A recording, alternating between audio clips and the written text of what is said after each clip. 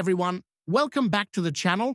In today's video, we're going to walk through the process of installing Uptime Kuma on an Ubuntu server using Docker. If you're looking to monitor your websites and services with an easy-to-use, self-hosted solution, Uptime Kuma is a great tool. Plus, we'll be using Docker, which makes the installation process quick and hassle-free. So let's dive in. Let me explain briefly what Uptime Kuma is before we get started. Uptime Kuma is a self-hosted, open-source monitoring tool designed to keep track of the availability and health of various services and websites. It's commonly used by system administrators, developers, and anyone responsible for maintaining websites or online services to monitor whether their systems are up and running smoothly. First, we need Docker. If you don't have Docker installed yet, don't worry, it's easy to set up on Ubuntu.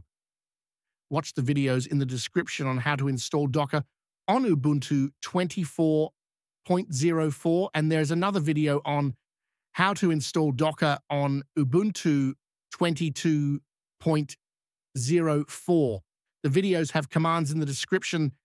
You just have to copy and paste the commands while you follow along. And if you want, you can install Docker the easy way by just running one command and it will install Docker from the Ubuntu repository, though it will not be the latest version.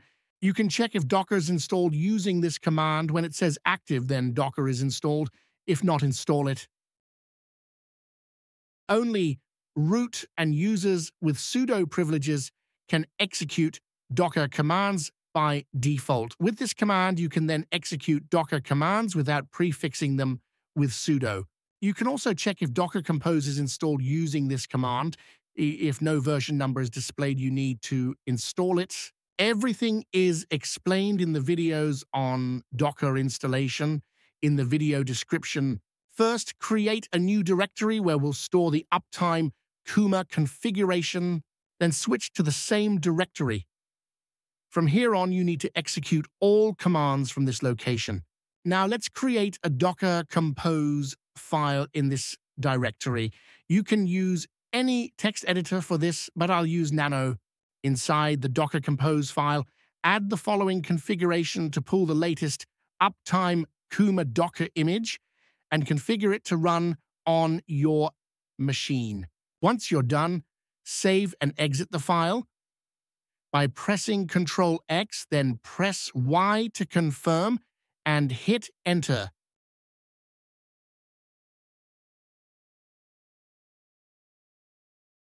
Now it's time to start Uptime Kuma. In the same terminal window, run the following command to start the container. This command will download the necessary Docker image and start the container in detached mode, meaning it will run in the background. Or Once that's finished, Uptime Kuma should be up and running. You can access the dashboard by going to localhost colon 3001 or server IP address colon 3001. Of course, replace the server IP address part with your actual server's IP address in your web browser Here we are. The first time you log in, you'll be asked to set up an admin account. Just follow the prompts and you'll be good to go. Should you install Uptime Kuma on localhost or a VPS, if you already have a machine running locally, e.g., a personal server or a desktop, you don't have to pay for a VPS. If your local machine is off or your internet is down, Uptime Kuma won't be able to monitor anything. It's only useful if your local system is always online. Running a monitoring tool on a local machine is not ideal if you want your monitoring system to be accessible from anywhere on the internet. Before adding your first monitoring configuration, it's a good idea to set up your notification preferences. This will allow you to quickly apply a notification to each new monitor with just a single click, rather than configuring them individually each time.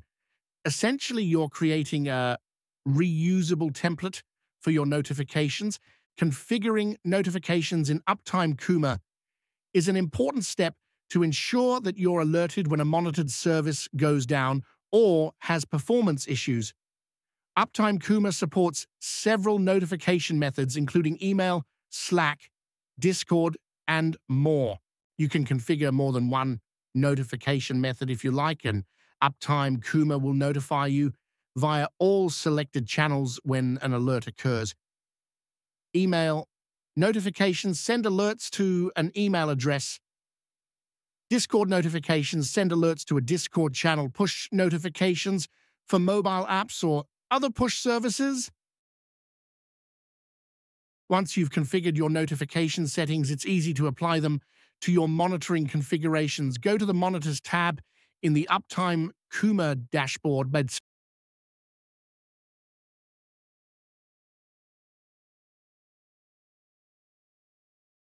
Let's set up one of the most common monitoring tasks, checking if a website is accessible. First, choose HTTPS under monitoring type. Next, enter a friendly name that will help you easily identify the monitor later.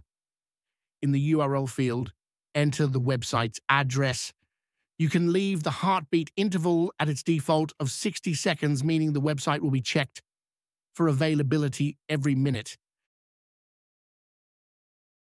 Let us configure Discord notification you will need to create a Discord webhook. Go to your Discord server and create a new webhook. Copy the webhook URL. Test the notification to verify that alerts are sent to your Discord channel. And just like that, you've set up reliable monitoring. Now, if anything goes wrong with your website, you'll be alerted right away and ready to respond immediately.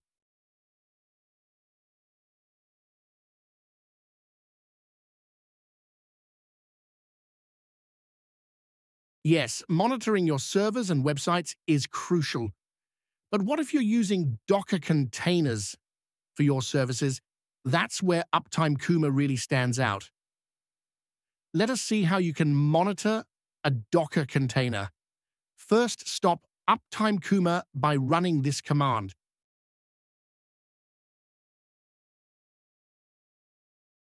Next, open the Docker Compose file and add the necessary mount point.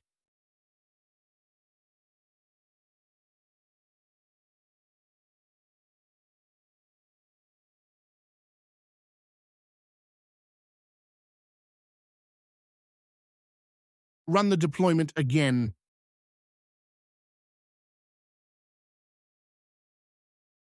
Next, go to the web interface, click on Settings, then choose Docker Hosts, and click the Setup Docker Host button.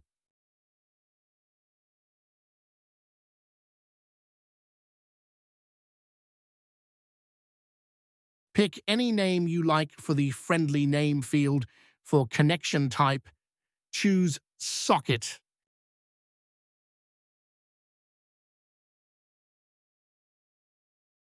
Now let's return to the admin interface. Click on Add New Monitor, select Docker Container as the monitor type, and give it a name that will help you easily identify the container you're monitoring. In the container name slash ID field, enter the name of the container you want Uptime Kuma to monitor. If you're unsure of the container's name, simply log into the host and run this command to view the IDs and names of all running containers. For one to easily remember, it's best to use the container's name instead of its ID.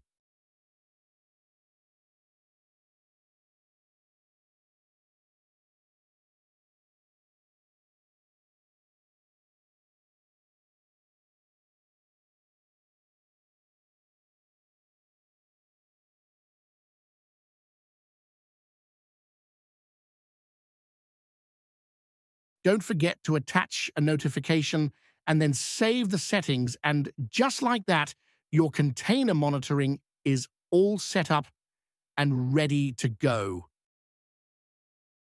And that's it. You've successfully installed Uptime Kuma on Ubuntu using Docker. If you found this video helpful, make sure to give it a thumbs up and subscribe for more tutorials like this one. If you have any questions or run into any issues, drop a comment below and I'll be happy to help. Thanks for watching and happy monitoring.